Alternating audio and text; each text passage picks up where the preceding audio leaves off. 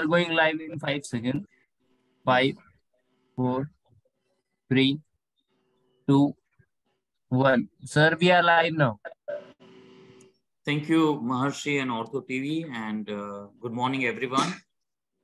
Today, we are going to talk about uh, different pathologies around knee joint, which are uh, not that rare, but uh, sometimes they they strike us and uh, we might get confused with what to do.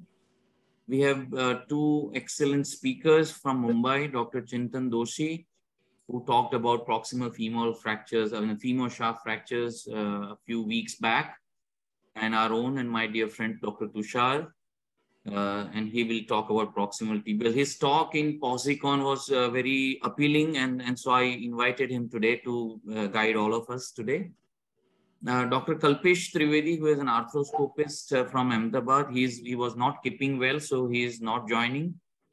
And uh, we'll talk about some interesting tibia vara, unilateral tibia vara cases at the end. So I'll invite Dr. Chintan to start his presentation.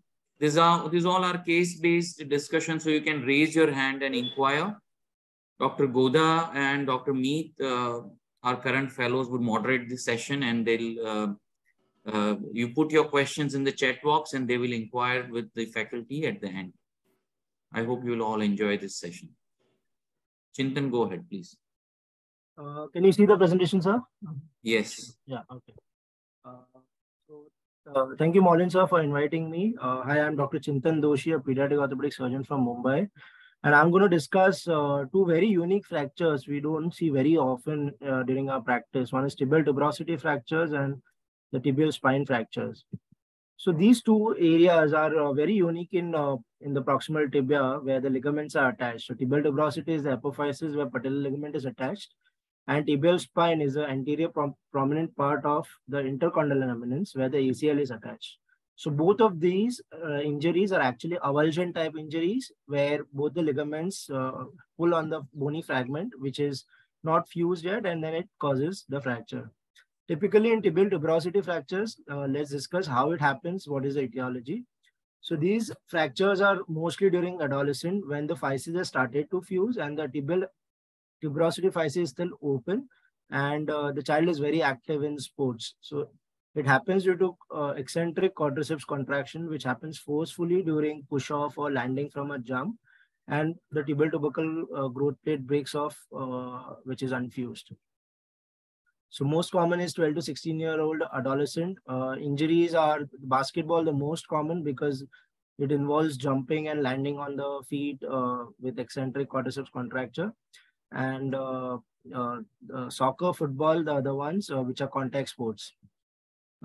adults uh, counterpart of this injury is usually a patellar tendon rupture and it is not usually the tibial tuberosity avulsion so uh, because the bone is fused to the the uh, metaphysis then it is a tendon which ruptures here the bone avulses from the growth plate so look looking at the classification, which will help us further in the management, uh, Watson Jones first classified this into three types.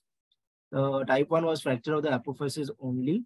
Type 2 was fracture of the apophysis with some involvement of the epiphysis, but the fracture line still not exiting into the joint. Type 3 was where the fracture line exited into the joint and it was displaced. So Ogden then modified this into A and B. He kept the 1, 2, and 3 same uh, as the fracture line uh, not exiting the joint then exiting the joint 2 and 3. But A was the simple and minimally displaced fracture. Type B was mainly a comminuted fracture where there were two or three fragments, and then it was completely displaced. Uh, there are these are two modifications which came out after uh, Ogden published his uh, classification, and these were Ogden type 4 and type 5. These were the fractures which were seen again in the adolescent where the fracture line was uh, going all the way through the tibial tuberosity into the epiphysis and then exiting posteriorly into the metaphysis or posteriorly through the physis. So, so Chintan, my question is, do we need MRI to uh, specifically classify these injuries or we can do it on X-rays only? So, sir, all uh, most of the time X-ray is uh, suggested. So this happens in adolescents. most of the time x-ray is suggestive we we see the fracture line uh, so i'll discuss that in the cases where we okay, have some uh, uh, controversy but then it can be done on table but Mm. to be on a better side uh, we can do a ct or a, a mri so mri will be better because you can see a associated meniscal injury or other injuries Mhm. uh, but it will uh, delineate the fracture line uh, perfectly. So, uh, so, so, uh, so yeah. So type four was going posteriorly, and type five was similar to type four, which was by McKoy and uh, Stanitski, but the fracture line here also goes to the joint. It's like a Y type. So it through the tibial tuberosity into the joint and then going posteriorly through the posterior metaphysis. So uh, we'll discuss the management based on the clinical cases, uh, not not a didactic theory lecture. So uh, so this was uh, a comminuted tibial tuberosity fracture in a 14-year-old boy, where uh, he had injury while playing football, and there was a avulsion from the tibial tuberosity side. So I usually do these measurements. So this was uh, this most of these cases are from Singapore when I was there for a period of uh, a year where I saw many tibial tuberosity fractures and almost of all types. So we used to get this measurement so as to get the exact screw length and uh, not uh, having a screw uh, jut out posteriorly or you know impinge on the soft tissues. So uh, a tibial tuberosity fracture most often uh, and always should be open reduced, not a closed duction because there is like how we have for medial malleolus, there is periosteal interposition.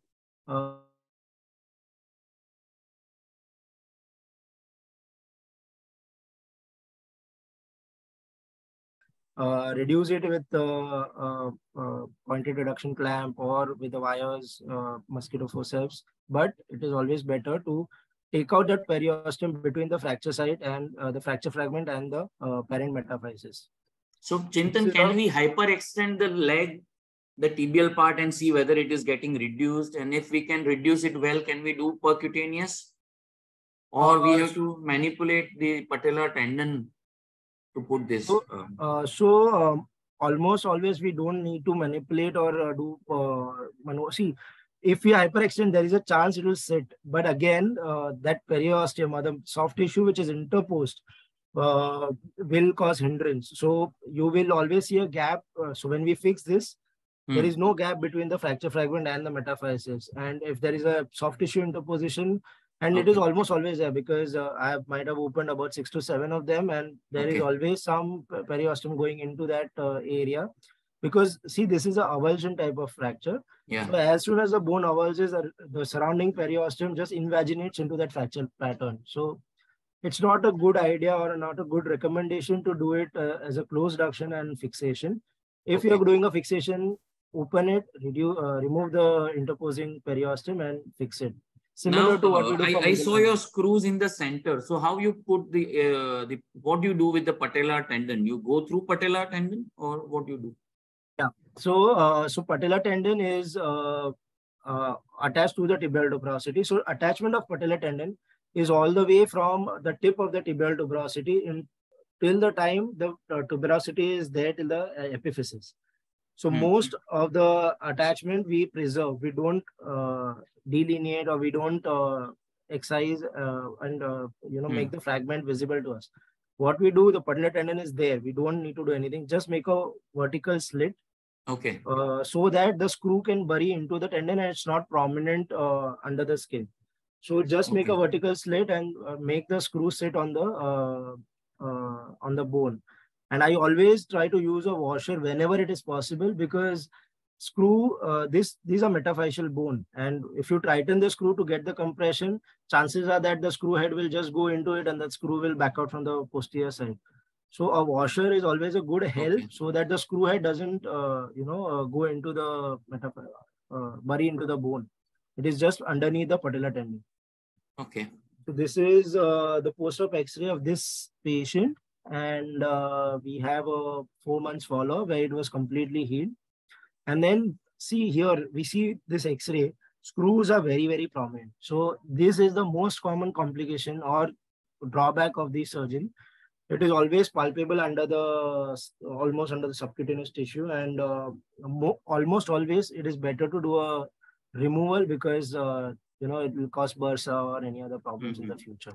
And how long you immobilize or you, it, is it based on X-ray or How long so I so my immobilization will be based on uh, the classification how how how comminuted the fracture fragment is, how displaced it was at the initial stage, and uh, uh, how how long we needed to get the callus. In a type three, I will immobilize it for a longer time because the fracture line was exiting through the joint. So I Mhm. will immobilize it for about four to six weeks. Mhm. Uh, in in such a case where it is just in the apophysis, I would immobilize it for three weeks or maybe maximum four weeks, and then uh, start knee ROM. So Okay.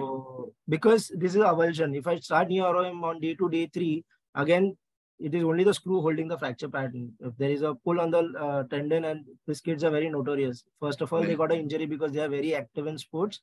They want to go back to sports. So it is always better, if not a cast, at least a long knee brace where Right. uh, it can be, uh, you know, protected. No, cast is always good. Cast, I always prefer a cast.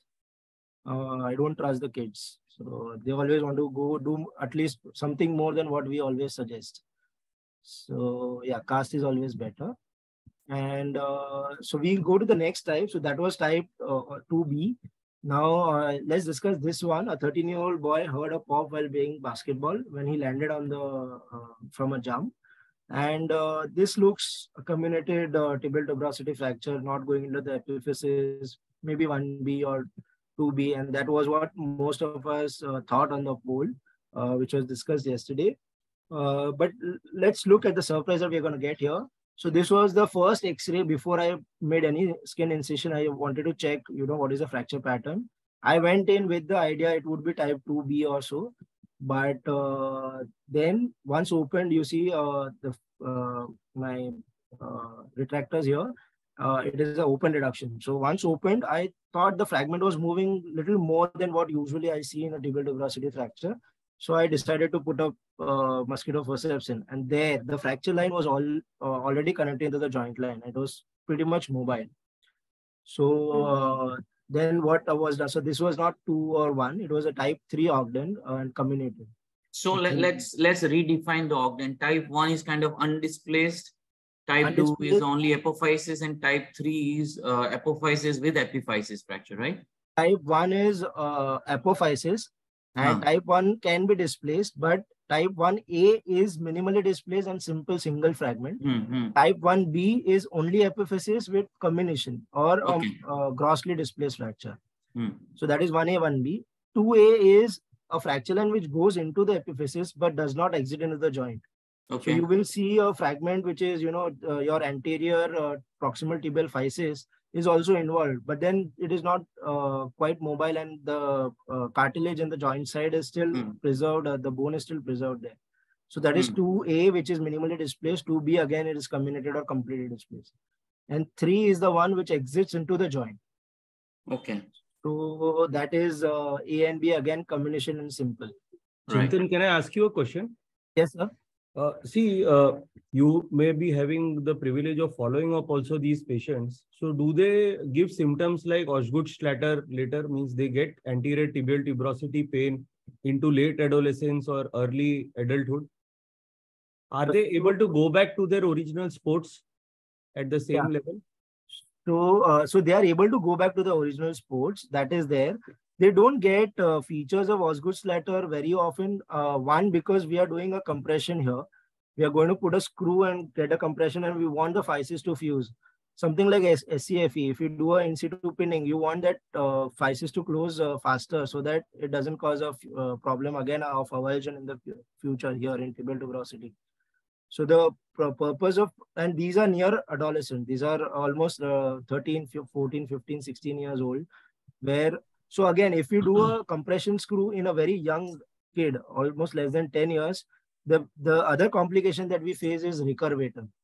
Because the physis started fusing early because of a compression screw, and then that will cause recurvatum in the proximal tibia. So, uh, so, so these are the common problems: hardware prominence, recurvatum, but not uh, what you uh, think that it would be Osgood-Schlatter or something. And yes, the pain on the tibial tuberosity is there. There is swelling because the the screws are poking there. The head is still there under the skin, and it causes bursa. So almost always at one year or, or maybe ten months or one year, uh, once we see that everything is going good and uh, bone has healed well, we remove the screws. But you can assure them of going back to their sports. Yes. So uh, about four months.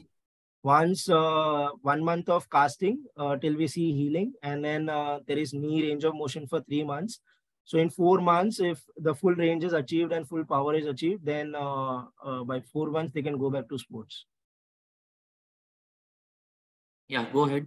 And most of these cases are from Singapore, so I don't have uh, a very long-term follow-up. The the longest I have is uh, about nine months, where we had removed the screw also.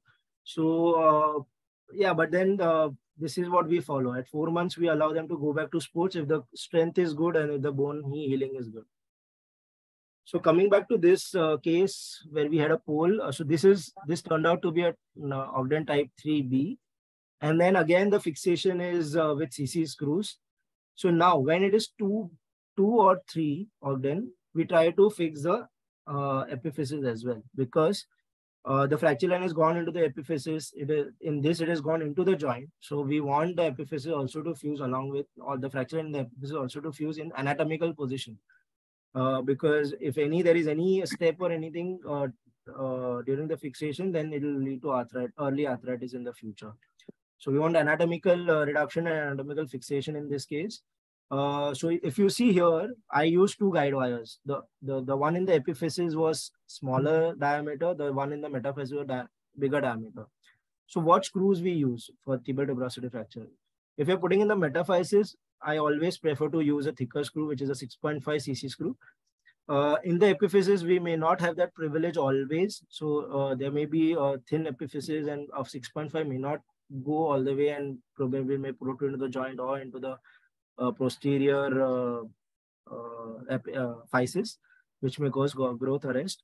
So what we put is a 4 mm, a 4.5, a 4 or a 4.5 mm CC screw, whichever is available.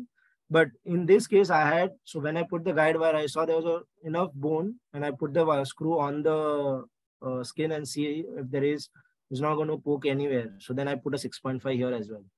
So that is how uh, we'll fix the uh, epiphysis and the uh, tuberosity onto the metaphysis. So this is a two months follow-up of a case which was done. Now, uh, again, this is a bilateral tibial tuberosity fracture. Uh, again, a jump during basketball where the, uh, the uh, boy landed on both the feet simultaneously and it caused avulsion of the tibial tuberosity. So we see on the right side is comminuted uh, multiple fragments. Probably it is type 2B because it is going all the way into the epiphysis as well. Uh, but on the left side, we see a unique pattern, which we discussed in the classification. The fracture line here is going from the tibial tuberosity you see the lateral view. It is going all the way exiting in the posterior uh, metaphysis. So it is type 4 Ogden, which is a modification of the Ogden classification. And there we had, so as uh, Maulin suggested, whether we can see what's happening in extension. So at Singapore, we used to do this in uh, in the emergency department of manipulation and reduction and see what is happening to the fragment, whether it's sitting or not. So we do, do hyperextension, apply a slab, and then admit the patient. And this is done with a little bit of sedation because we have uh, uh, patient, we have uh, uh, pediatric doctors in the uh, emergency department who can give a sedation for a half an hour or so, and then we can do the procedure. Child wakes up with almost no pain because the slab is there. So when we do a hyperextension here, so if you see on the right side, the fragment because of the patellar tendon, it is displaced further than what it was in the uh, before the hyperextension. And uh, on the left side, it's set well. But again, that is unstable because the fracture line is all the way going anterior to posterior. So this was what was decided to fix it on the on table. Here you see my screw here on the uh, the epiphysis screw is thinner than the metaphyseal screw, but it is also going in a different direction. Why? Because the fracture pattern was such. The upper fragment was such so oblique that uh, I had to put a screw perpendicular to the fracture line so as to get a compression in a way that it went through the anterior uh, physis. But then that is also important because any which ways, almost near fusion, uh, we wanted to get good reduction and good, uh, you know, fixation with this uh, fragment. On the on the other side, I use a reduction clamp, a, pointed reduction clamp or a patella clamp to get the uh, fragment reduced in extension and then uh, put a screw again in this. So these are the long-term follow-ups of these uh, patients, about six weeks, and then uh, it went on to both the sides went on to heal. Now, in a bilateral case, I re refrained him from uh, six months from sports, but then once it heals, we can uh, allow them with good strength. So uh, another case here, this was also a poll option uh, of what uh, is the management for this. And most of us were of the option to do a compression screw. Yes, it is complete. It is quite a bit displaced and you know there can be periosteum interposition again here so in this also, I will do open reduction and not just a closed reduction or extension uh, casting. So looking at this fracture pattern, it, uh, on the lateral view, initially it looks, there was some suspicion that it is going posterior. So again, it is not just a simple tibial tuberosity, it is a modification, type 4 Ogden modification, which is the fracture line going all the way from anterior to posterior, exiting into the metaphysis. So again, uh, open reduction was done uh, and uh, screw fixation for the same. And uh, both the screws are uh, 6.5 screws here and it went on to heal nicely. So this is a four months follow-up. And just before starting sports, we want to see that the bone has healed well and there is no more gap at the tibial tuberosity level. So that is our four months follow-up of uh, Ogden type 4. So another in interesting case, and this I discussed uh, for options in the poll. Uh, it looks a nasty proximal tibial fracture, uh, probably metaphyseal, doesn't look like a tibial tuberosity on these x-rays at least. So we decided to get a CT scan done and look at what the pattern is showing. Again, what we discussed, type 4 Ogden type, where the fracture line is in the metaphysis going from tibial tuberosity exiting posteriorly and the entire uh, epiphysis with the tuberosity and metaphyseal fragment is uh, displaced. So uh, on table, what I I had kept everything. I kept K wires, I kept plate, I kept screws, everything I had kept because I was not sure how it's going to reduce, whether it's going to go into varus or valgus, whether I will need a additional plate fixation. But this is what how it reduced. And uh, just with extension and uh, holding the fragment in place, uh, what I decided to do was to put a screw and then check for stability whether to put up additional plate or not. So that metaphyseal line that we see on the AP X-ray is actually that frag fragment, uh, the fracture line of the posterior cortex, which is the uh, Ogden type uh, 4, the one which is exiting posteriorly. And that is a fragment which is uh, uh, of the part along with the tibial tuberosity, a single fragment. So I decided to do a, just a screw fixation because it is quite stable. And again, as Maulin sir and we discussed, we're going to put this patient in cast at least till the time we see a good healing and uh, we are sure that it's not going to uh, displace further. I I refrained from using a plate here again because there was no varus or valgus deformity or uh, and it was after putting the screws it was quite stable uh, and uh, there was no need to do any additional fixation for this and for this, I only have a six weeks follow-up uh, X-ray with me. Anterior part looks healed very nicely. There is a fracture line which is seen posteriorly as well. So post this, I uh, put him in a long leg knee brace and started gradual knee ROM. And then uh, later on, it went to heal. Uh, I don't have a follow-up because then by then I had left Singapore. So uh, as we already discussed with Tushar sir here, uh, what are the complications of these? So uh, we have prominent hardware, we have recurvatum uh, because there is early fusion of the anterior physis and uh, extensor lag because it was a avulsion fracture to begin with. We have immobilized the quadriceps for a very long time, almost about four to six weeks. There would be some extensor lag again because uh, the play on the patellar tendon may still be there. So it, uh, it's better to get rid of it before starting sports. And stiffness if uh, immobilized for a very long time. So uh, take-home messages in tibial tuberosity fracture, it is important to identify the fracture configuration. Displaced fracture will always almost need a surgical management. And here it is open reduction, not a simple closed reduction because there is almost always a periosteum interpose which has to be removed uh, when you pass the screw. Anatomical reduction with screw fixation uh, gives a good long-term result. Uh, only drawback is the prominent hardware, which can be removed uh, once the fracture is healed. So Chintan, it has been already 20 minutes elapsed. So I would wish you to go through rapidly through the tibial spine sure. cases. Sure, sure. So, I'm sorry, but, but I think we had discussion in between. So I timed this to go into 12 to 13 minutes, but then it's okay. No So tibial spine fractures, uh, these are the ones which we are going to discuss here, the one where the ACL is attached. So these are very uncommon one in one lakh children fractures, not one in one, one lakh children, one in chil- one lakh children fractures. All, almost these are also seen somewhere near adolescent age group from 8 to 14 years of age. And this is the adult counterpart is the ACL injury.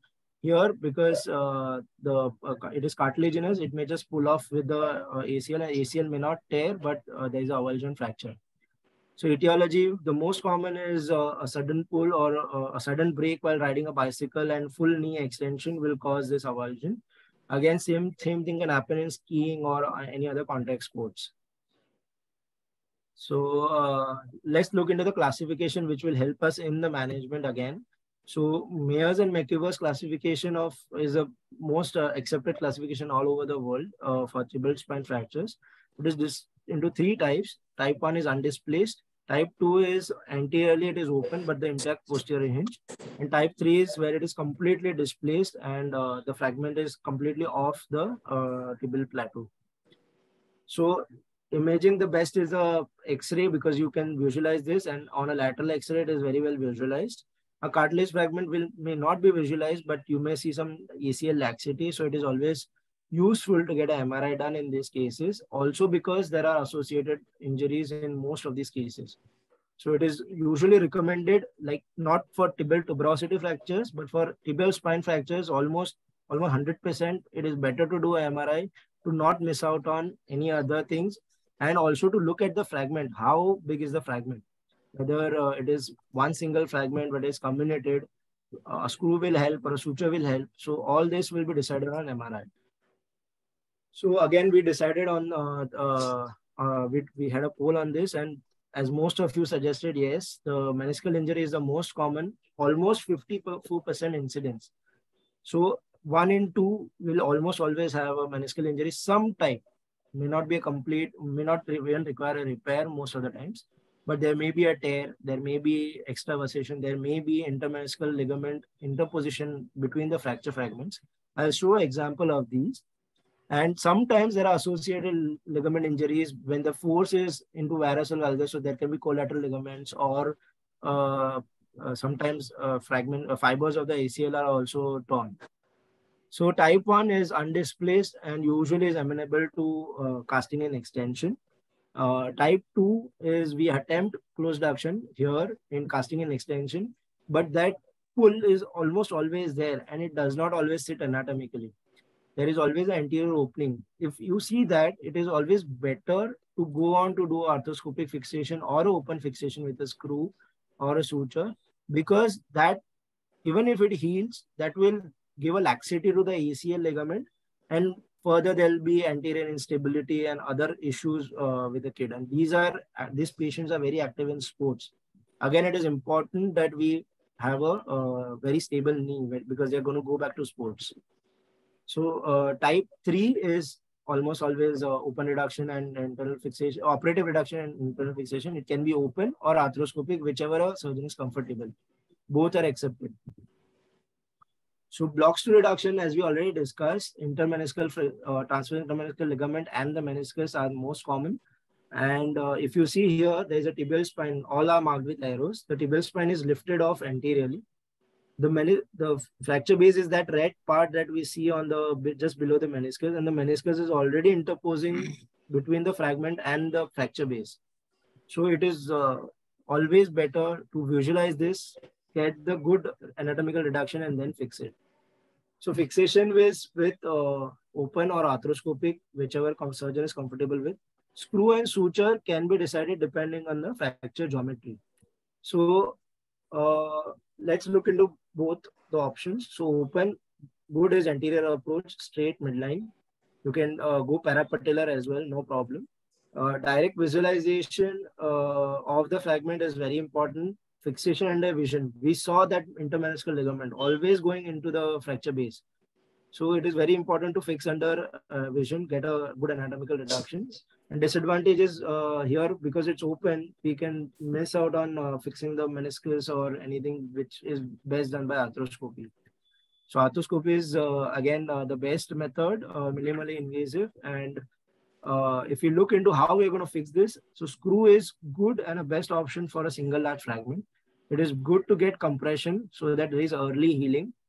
Dis disadvantage of screw is we cannot use it in multiple small fragments because uh, then there is no good hold on the all the fragments and uh, there are chan- uh, with screw there chances of growth arrest because we may cause a cross the proximal tibial physis.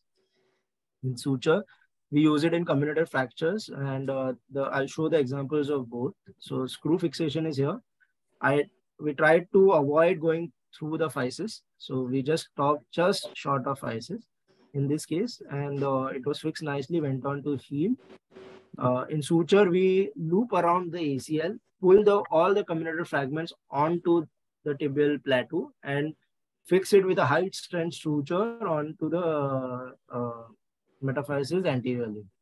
So this is how uh, suture fixation was done for multiple small fragments. So if you very closely look at the AP X-ray, one of the fragment is still off. There is a little uh, elevated.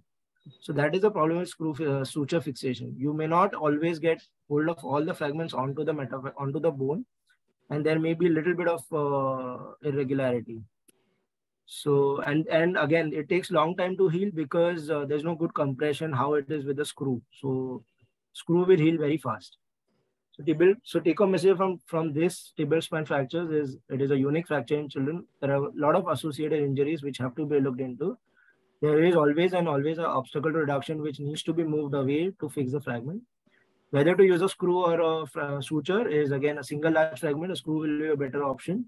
Multiple small fragments, a, a suture will be a, a, amenable to fixation. So thank you so very Maulin, much. Maulin. Yes.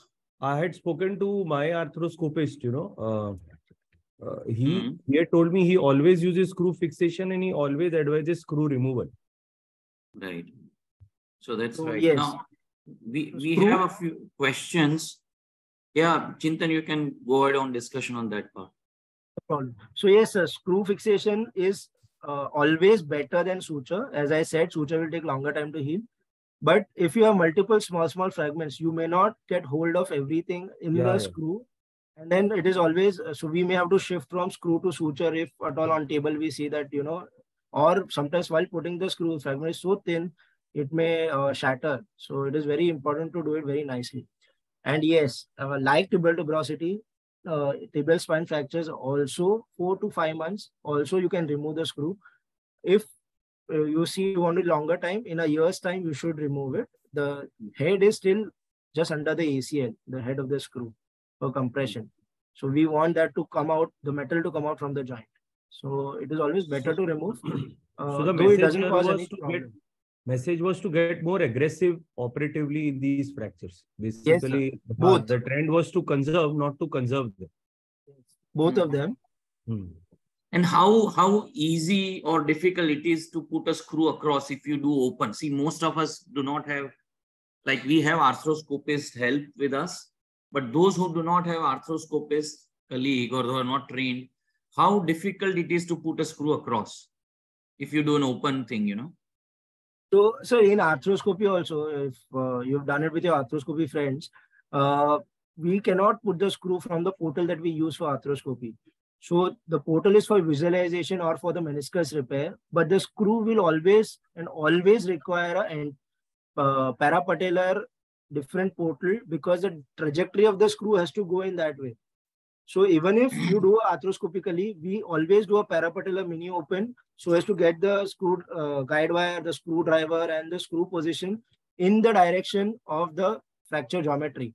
So, so to, to some extent, does it become a blind procedure or we can visualize the fragment completely?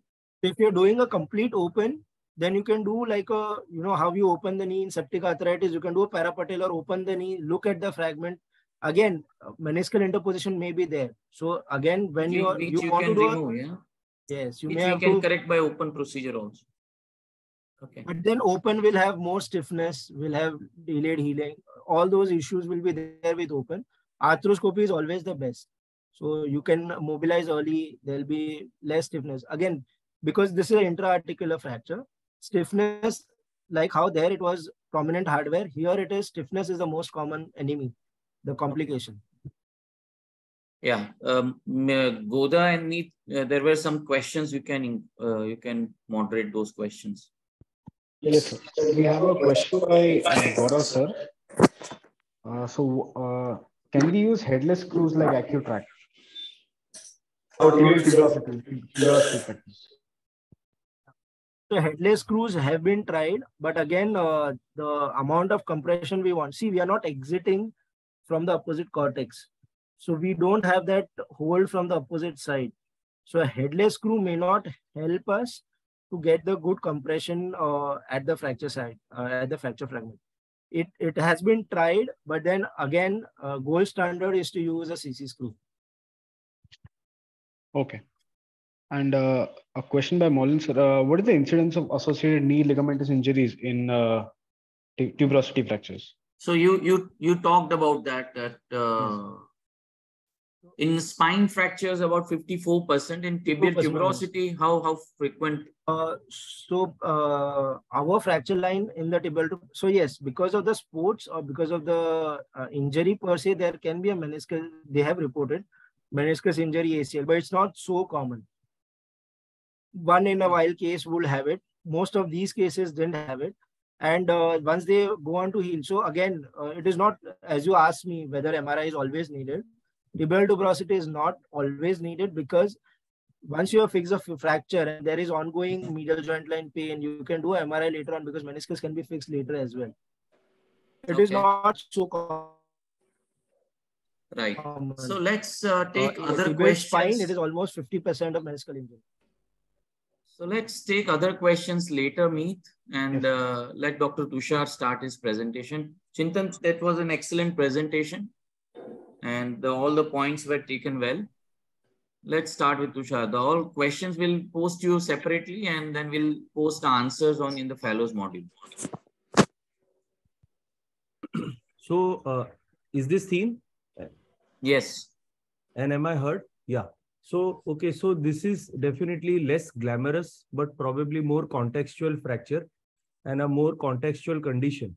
Okay, so we are talking about uh, the proximal tibial metaphyseal fracture and specifically we'll talk about the Cozen's phenomenon. So uh, Chintan did speak about the classification of the tibial tuberosity and the tibial spine fractures, but I feel that it's so tough to remember because they, you hardly encounter them. So this Scott Mubarak's classification of the entire gamut of proximal tibial fracture is one of the best to remember. So you can have four types of injuries, valgus, varus, extension, and flexion avulsion. And as you can see by the illustrations, what each one of them is going to give. And what we are specifically addressing in my talk will be this proximal tibial fracture, which extra-articular metaphyseal fracture, which is almost always a valgus injury. And hence, there is the onset of Cozen's phenomenon, right? And also we will see that the injuries which Chintan spoke about occur in the age group above 10 and the, specifically these metaphyseal fractures occur in the far younger age group. Hence, again, this uh, talk about Cozen's phenomenon because there is a problem of developing deformity and the scope of coming out of the deformity. However, I did find some textbook references which insist on uh, much more aggressive maneuvers to get your initial valgus reduced to as much as neutral, maybe little bit of varus, slight overcorrection at the time of primary fracture itself. Uh, this was countered by Dr. Sheetal Parikh after my talk. He says that there is no need to get so aggressive. We may not use any hardware, but for definitely there is a scope for using cast wedging, which is shown in the middle image uh, to get a proper varus angulation. So these are few examples from uh, textbook images and you can see this side is the fibula. So this fracture has gone into valgus and they put a last large cast wedge here and thereby trying to bring it to the near normal levels and therefore preventing Cozen's phenomenon. And you will notice that the cast is to be done in full extension of the knee, okay, with varus molding and further cast uh, just a second, and further cast wedging in order to prevent what is called as Cozen's. Now, let us further go ahead and understand whether this Cozen's is a real-time phenomenon or actually it's a myth. So now first I'll discuss two small cases uh, of my own, which did not actually go into Cozen's. So uh, I had this patient come at the peak of the pandemic. Uh, okay, so he was a four-year-old boy. He was extremely anxious with anxious parents. I didn't even, could not even do an AP X-ray. So I immediately put, put him into a slab. And you know, those times the trend was to call patients at a very long follow-up. So I called him like after three to four weeks. And I was aghast when I saw this. Immediately after removing the slab, he had a large medial gap. He also had associated fibular fracture, which was apparent before. And the patient was going into primary valgus.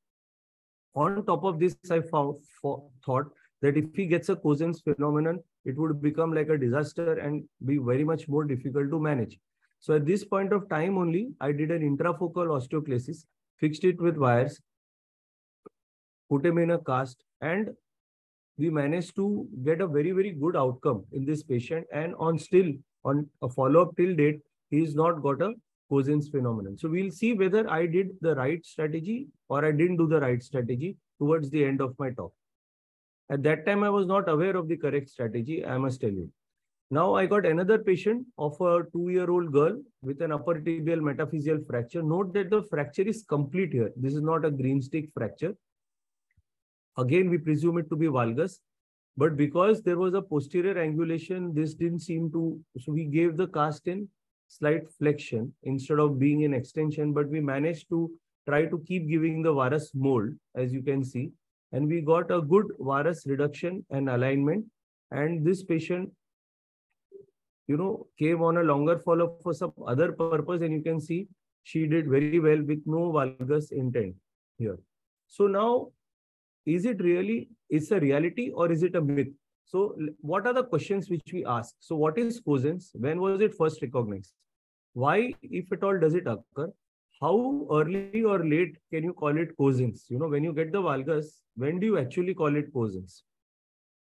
in what percentage of patient population does it occur? So if you have, let's say, 100 patients of proximal tibial metaphyseal fracture, in what percentage will it occur? Which age group is it more common? So if you have three-year-old versus eight-year-old, when is it more common? Is there a way to prevent it? Uh, and can we cast differently in order to get less of this Cozen's phenomenon? uh, do we ever have to operate a patient who gets Cozen's? if we are operating, how do we operate and when do we operate? For how long do we retain the device? And is such surgery also foolproof or there are some fallacies of the surgery itself? And if we do not operate, what happens at skeletal maturity? So let's see via the review of literature, how we can answer. So another feature that I'll tell you is that you will get roughly about 54 articles when you search for Cozen's. but along with that, you have to put the terminology post-traumatic tibia valga. So everybody does not use the term Cozen's, right? So it's an interesting phenomenon. You can use the term post-traumatic tibia valga whenever you want to search. And if you want to specifically search for surgery for Cozen's, you will find two to three articles repeatedly coming back, which have been incorporated in this current literature review. So the first article is an original article by Cozen himself. And in this, he found that all the fractures which were initially displaced in the first year itself presented with valgus and they were he gave 15 degrees as the significant value so if you have a femorotibial angle of more than 15 degrees then you find that parents get concerned so 15 degrees was the specific value which he said and he actually managed to he actually at that point of time felt that a long brace with a proper molding would actually help correct the tibia valga. But this is an older article. So they spoke about long brace shoe correction also, which probably the brace which we may have done away with. Now, this is another article by Skak, which is also very prominent in all the, uh, it's very well cited. So he described the upper tibial fractures into four types, fissure, buckle, green stick, and complete.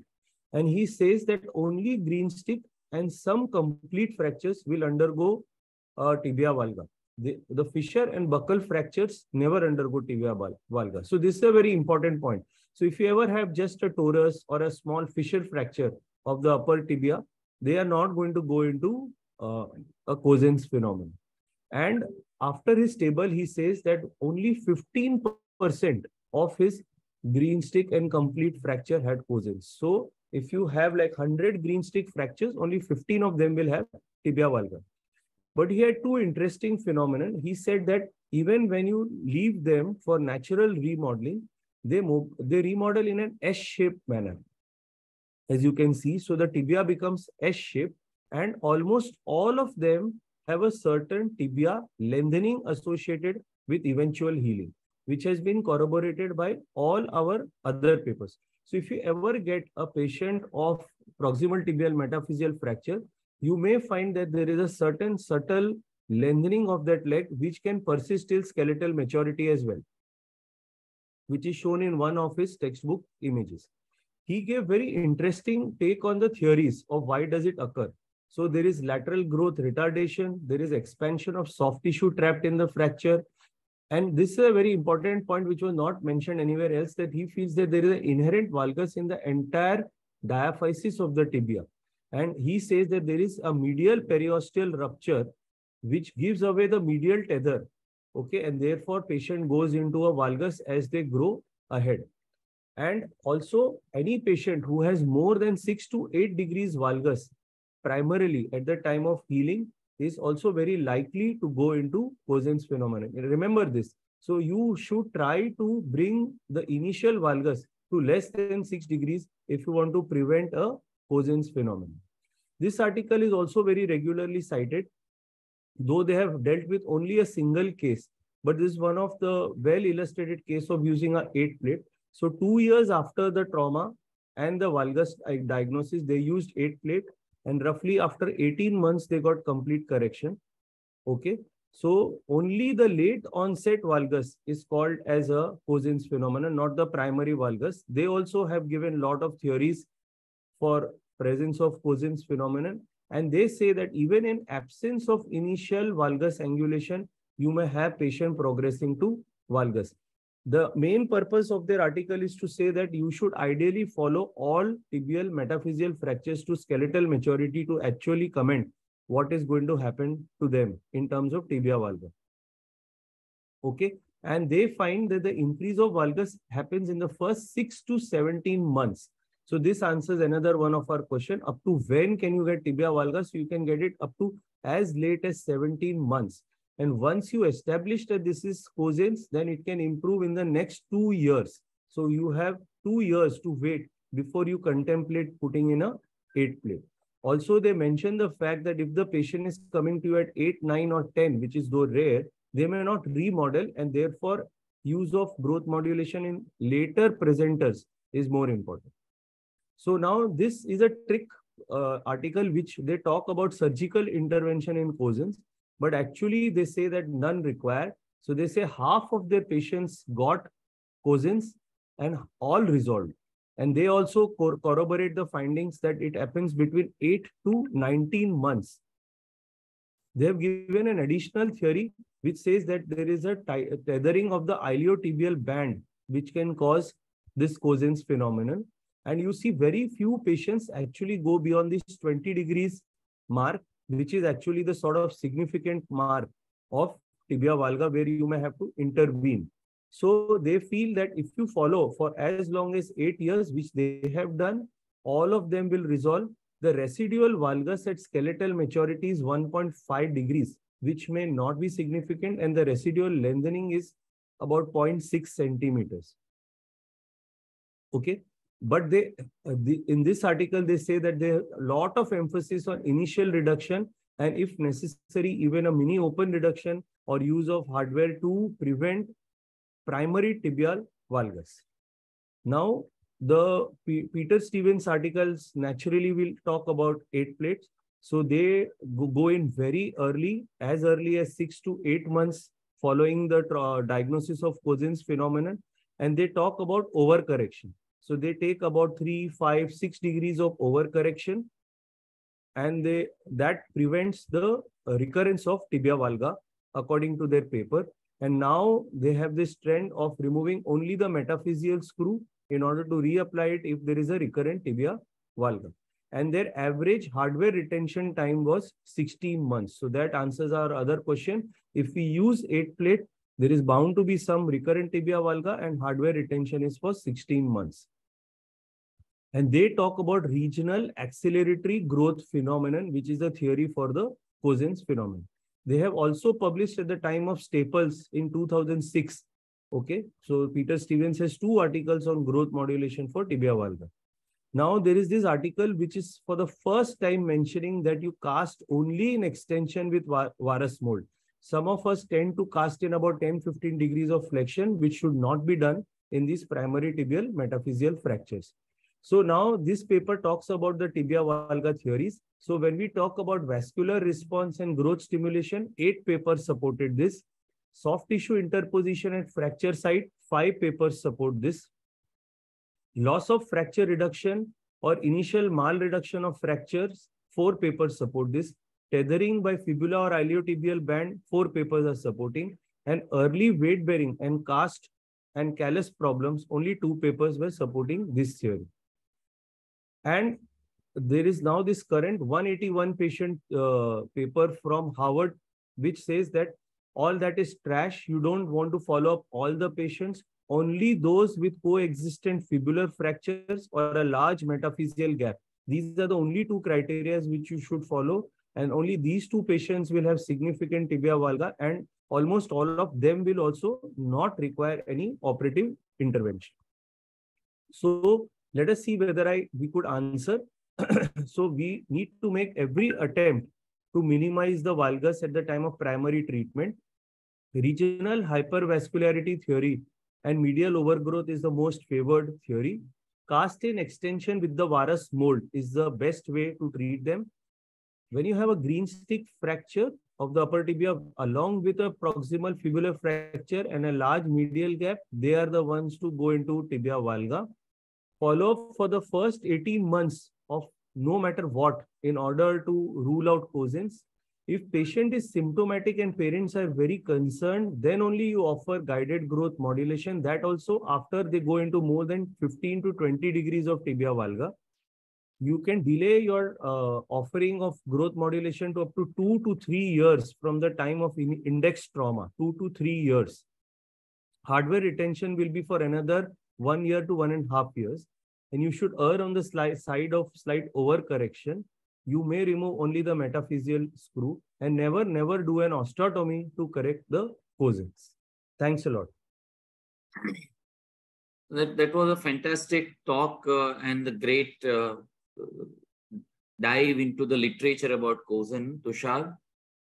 And I, I feel that uh, all the questions were answered uh, just a thing about just removing the metaphyseal screw and if needed, I mean, it, it takes only five minutes to put an eight plate back. So in, in our scenario, the at most of the times parents are not uh, kind of because this means that you are going back to theater if not putting screw in, uh, removing the plate. So we can explain and, and the and the best side would be to overcorrect a bit uh, so that if it if at all it gets uh, rebound there will be neutrally corrected. So that i think uh, let's move on to the next uh, presentation. And uh, if any question we can ask you personally but this was a wonderful talk and all the fellows should go through it again and so they would learn all the points about Cozen. Thanks, Tushar. Let me share my screen. Okay. Uh, so is my screen visible? Yeah. Okay. And so I'm going to talk uh, something uh, different than what Tushar talked. We are going to talk about tibia vara, and these are unilateral tibia vara cases. So this one and a half years old boy presented with unilateral tibia vara. Parents were concerned that child started walking at the age of one year.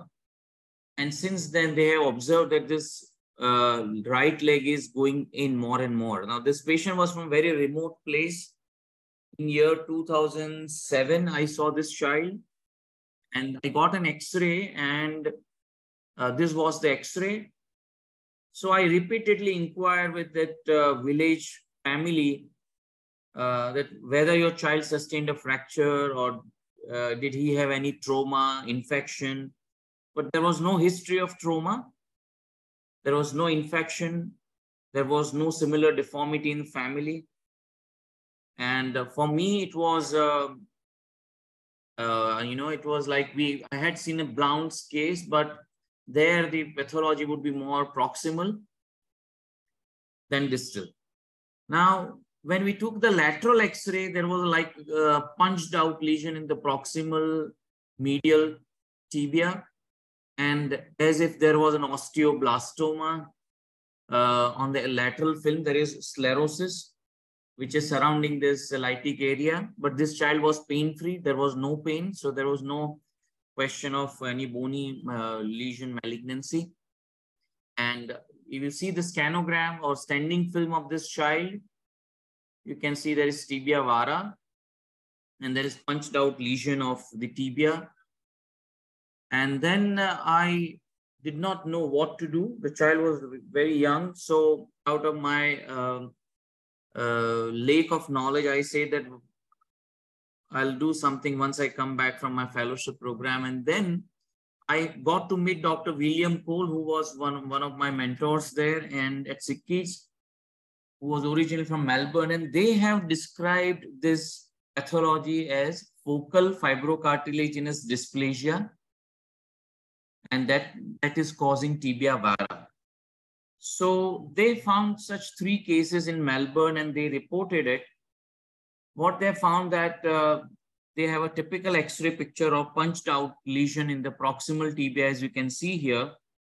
Usually the pes anserinus inserts on the proximal medial tibia with a small fibrocartilage uh, uh, present there. They opened these lesions and they found that the fibrocartilage analog was very robust and it is going all the, all the way through the cortex up to the metaphysis. And that was producing probably a tethering effect. And so there was tibia vara with apex at the site of tether. And out of three patients, they, they surgically removed that tethered into and they did the osteotomy. But the third girl, who was about two years of age, was uh, so these are the MRI pictures. Uh, this where they they have shown this uh, the pes is included uh, inside the cortex. So so the other name of this pathology is fibrous inclusion or they typically told them based on the histopathology, that is focal fibrocartilaginous dysplasia. So then the third patient of their series, uh, she improved by herself. So two patients, they operated for removal of fibrous inclusion and, and they did osteotomy. So earlier recommendation what, with this was to operate, remove the inclusion but the third child improved spontaneously. And then more and more papers came and discussing about what is the natural history of this focal fibrocartilaginous dysplasia in the young child. Now, this series from Europe had 11 patients and they found spontaneous resolution in most of their patients. The patients in which it did not improve was where the uh, tibiofemoral angle of more than 30 degrees. And they suggested that those patients need intervention or the patients who shows progress, uh, progressive deformity, they would need intervention. But uh, early, the period of waiting for about a year is really important to demarcate that whether it is progressing or regressing. So as I was not aware to what to do for this child, when I came back from my fellowship program, I called that patient back and the, the father sent me these pictures and said, my child is all right and his leg got corrected. So, and I also saw on clinical pictures that uh, his uh, varus on right side, if not, it is partially corrected. And they sent me an X-ray from their place, and which shows that there is gradual remodeling from what where we started as the child is growing up. So, and then they never came back to me uh, even after I called them many times. But I presume that the child got corrected by itself. Now, very recently, one of our orthopedic colleagues, niece, uh, presented to us with this uh, uh, clinical and radiologic picture. And again, if you look at this tibia very closely, there is a punched out lesion with surrounding sclerosis. And you fear like uh, there is a growth arrest line on the medial side uh, uh, and the proximal tibial metaphysis decaying like we see in the Blount's disease. But now we know that this is a, a, a FFCD, and I, I talked to them about uh, potential of this to grad, uh, gradually corrected with time, although this tibiofemoral angle was more than uh, 20, 25 degrees. So this was uh, the X-ray at one and a half years. And you can see the mechanical axis is passing medial to the joint line. On further follow-up of four months, the deformity actually was found to be more progressive. Family was concerned, but I was still um, uh, with the literature and said, Let, let's wait further. And this is about uh, eight, nine months further. Uh, I cannot see how much. Yeah, so this was in September 21. And uh, this, as you can see, there was further, the mechanical axis is on the medial side and family is now reluctant to wait and they uh, the deformity was um,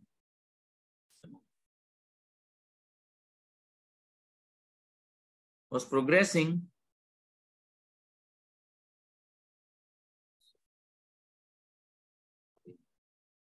So they were concerned now that we don't want to wait. You do something because we have been waiting for almost a year now uh, since we have seen this. And then we, we went on doing growth modulation. So that was at the age of 2.1 years and uh, uh, four or five months follow-up, you can see that this has started correcting gradually. Now at 13 months follow-up after index procedure, it has started correcting, but as you can see, the eight plate has probably exhausted and the plate is kind of backing off to give more and more correction. So, uh, so this is how it looked at uh, that time and still the deformity is not corrected. So I convinced them that we have to readjust the plate uh, and the screw. So this was uh, December 22 and uh, further you can see the we have replaced the plate and it started correcting. And this is uh, just we Meet called this patient yesterday as we had to present today, but you can see this deformity is almost uh, well corrected. And after some time, we will remove it once we achieve some valgus correction. So, um, yeah, so from here, we could reach here. And in this case, family uh, did not want to wait more because it makes that affected extremity apparently shorter and truly shortened as well. In some patients, we, we see that there, there, limb, there is limb length discrepancy. The affected side is short. And so even though we say we can wait till 30 degrees, even 20 degrees of varus malalignment, child walks with a significant limb which is uh, very worrisome for the family. Now, this is Taral's case. Again, two and a half year old girl, uh, and he kept, they kept on waiting, uh, but it didn't correct, and uh, a growth modulation was done. There was at three months follow up. Now, this patient came to me uh, after this surgery done by Taral about a year later, the deformity has is not been improving. So this is what um, I have seen in few of my cases and as, well in Taral's case that it takes little longer time to correct compared to those metabolic deformities because when we put an eight plate, it needs some time for detethering of that fibrous inclusion and restoration of growth from the medial uh, physis.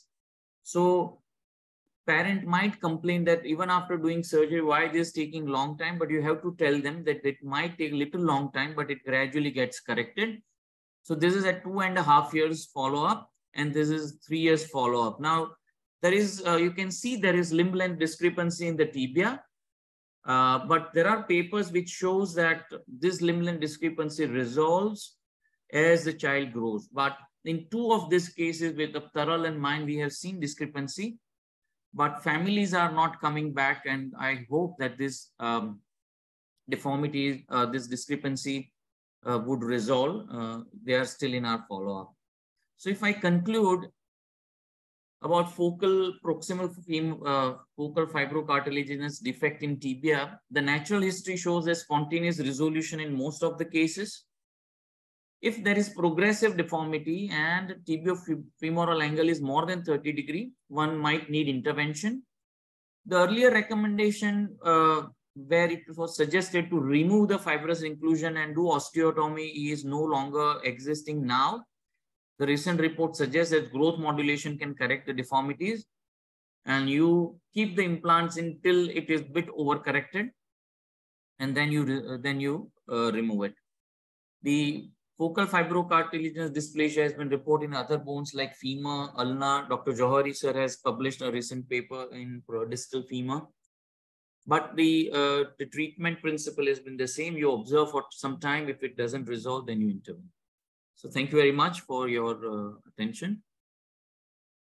And uh, it's two minutes past nine. And uh, yes, uh, Sujit, this was focal fibrocartilaginous dysplasia. So any question, one or two question I can take, or else we will discuss it on fellows group. Do we have any question, Goda or me?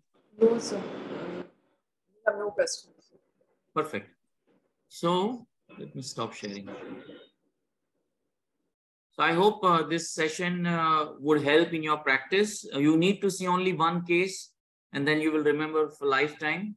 I saw uh, a focal fibrocartilaginous dysplasia in Dr. Bill Cole's talk in Sick Kids and I, I would never forget in my life.